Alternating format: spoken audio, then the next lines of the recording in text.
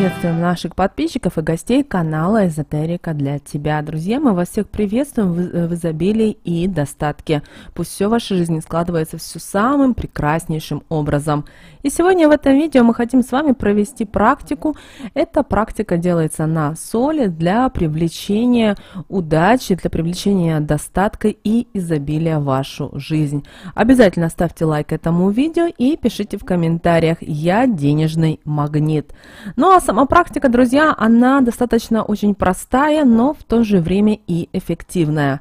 Итак, вам нужно в руку, в руку взять вашу правую руку и зажать горсть самой обычной поваренной соли.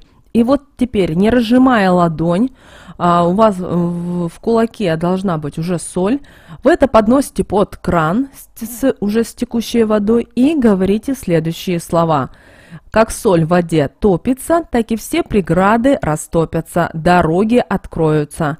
Первая сестра – счастье в дом. Здесь жить будет. Вторая сестра – удача за мной по всем дорогам. Лисой идет, беду хвостом метет.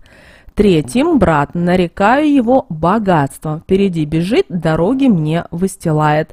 Слово мое сильное, мне подчиненное, им печать ставлю, им счастье привлекаю, да будет так.